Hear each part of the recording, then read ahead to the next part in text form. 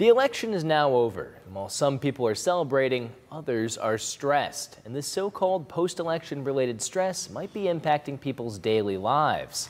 Dominique O'Neill joins us in studio with more. So, Dom, you talked to some experts who shared some ways of how to cope with post-election stress. What did they tell you? Michael, something we all know is that the long marathon election season can be extremely stressful. But one therapist I talked to says people need to have something positive they can focus on to keep their minds at ease. It's been five days since the presidential election wrapped. Some voters are filled with the sense of pride and hope. I am very happy American right now with Trump winning. And I know I'll have less sleepless nights because I was worried that he might lose the election. But the American people has spoken.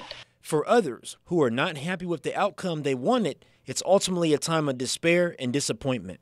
It was heartbreaking. And it just sort of like, you know, it's like somebody hit you in the head with a brick. Mm-hmm. And, you know, um, it, it, it'll take a while before I can sort of like go about my daily life. These past few months had voters of both respective political parties stressed out. And according to the American Psychological Association, close to 70% of Americans reported the 2024 presidential election played a major role of stress in their lives.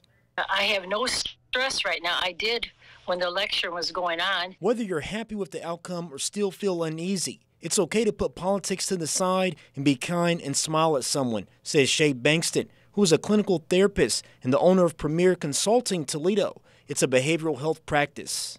And for those who are struggling, um, such as myself, I, have I've had a difficult, um, what, past three days. Mm-hmm. Um, just try to do things that can minimize some of that anxiety, uh, eating a good meal, exercising, talking about it. And we are fast approaching the holiday season, which means more potential for more stress. And Bankston says some of the other ways to manage post election stress include exercise, take a jog, and take deep breaths practice as many um, techniques that we can to de-escalate or alleviate some of that anxiety. So uh, physical exercise, uh, taking deep breaths, um, watching a movie, doing something that you personally find, um, you know, to be calming and peaceful. And eventually, healing.